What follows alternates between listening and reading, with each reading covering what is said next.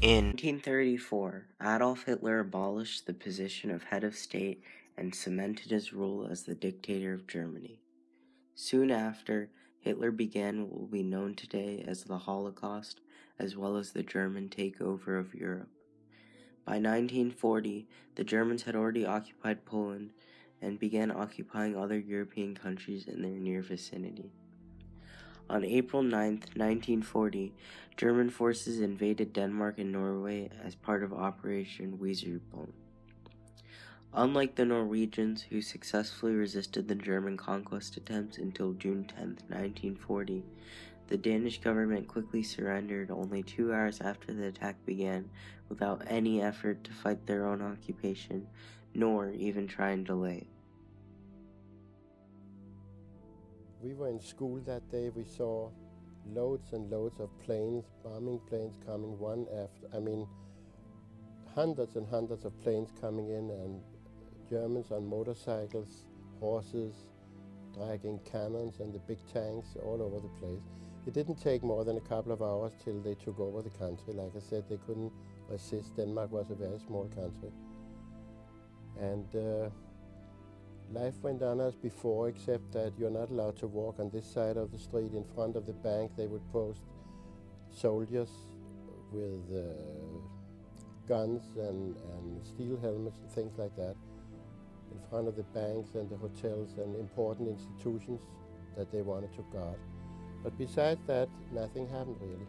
The police was in force and the Danish army was, although they were there, they had not much to say or to do, but uh, they were all, life was continuing the way it was.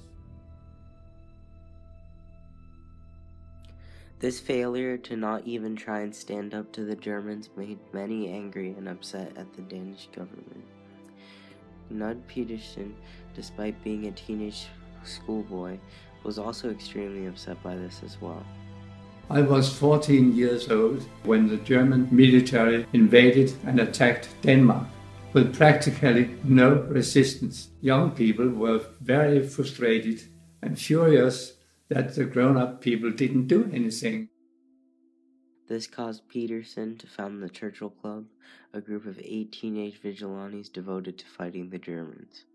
The Churchill Club's members were all boys from the Aalborg Cathedral School in the north of Jutland, Denmark. Starting in 1941, the club began acts of sabotage against the Germans. Their many acts of sabotage included stealing weapons and destroying vehicles, blueprints, and plane parts. This angered the Germans and upset their operations, and soon there were bounties put on the capture of the Churchill Club's members. When the German government finally had enough, they promptly ordered the Danish government to promptly arrest the members of the Churchill Club. As a whole, the Churchill Club succeeded in carrying out 25 acts of sabotage prior to their arrest in May of 1942, the following year. The boys were charged with a total of 1.86 billion kroner, or about 210 million US dollars for the destroyed German property, and their jail sentences range from 2 to 3 years in prison. The 25 acts of sabotage that the Churchill Club conducted across their months of operation not only caused the Germans millions of dollars in damage, but also slowed down the complete control of Denmark, impeded the control of other European nations by the Germans, and lastly, it also stalled operations relating to the genocide of Jews or the Holocaust. What the boys in the Churchill Club didn't realize was that their actions were being heard across their nation. Many were furious at the lack of government resistance like the members of the Churchill Club were. When it was made public by the press and government that the Churchill Club was fighting and standing up to the Germans, this inspired many to rebel against the Germans as well. In 1940, the Germans invaded and took over Denmark. In 1941, a group of schoolboys in a little Danish town founded the Churchill Club. In 1942, all of the members of the Churchill Club were detained. In 1943, the Danish resistance began.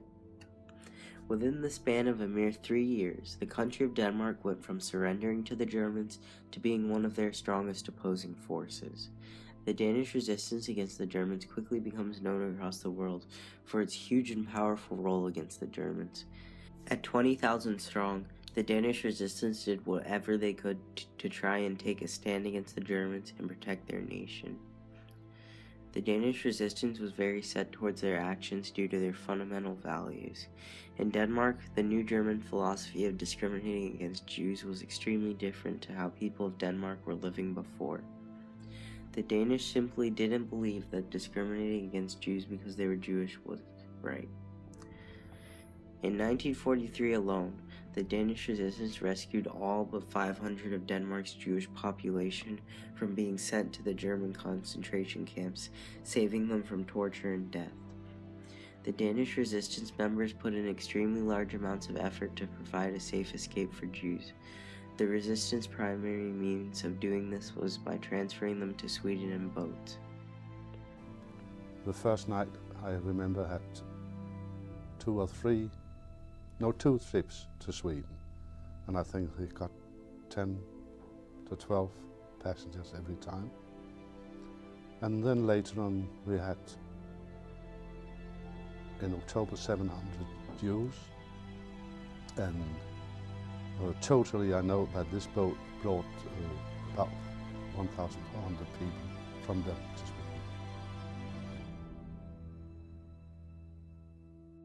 Another major key event was the disruption of the Danish railway network in the days after D Day, which delayed the movement of German troops to France's reinforcements.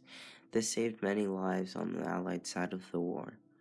By the end of the war, the organized resistance movement in Denmark had scored many successes. It is believed to have killed nearly 400 enemies throughout 1943 to 1945 who were either enemy informers or collaborators thought to pose a threat to the resistance's actions. All of this was the effect of the Churchill Club, the eight simple schoolboys who took a stand for what they believed was right for their country. Their simple stand for what they thought was right inspired tens of thousands of others to take a stand for what they thought was right as well, saving many lives and helping to end a terrible time period.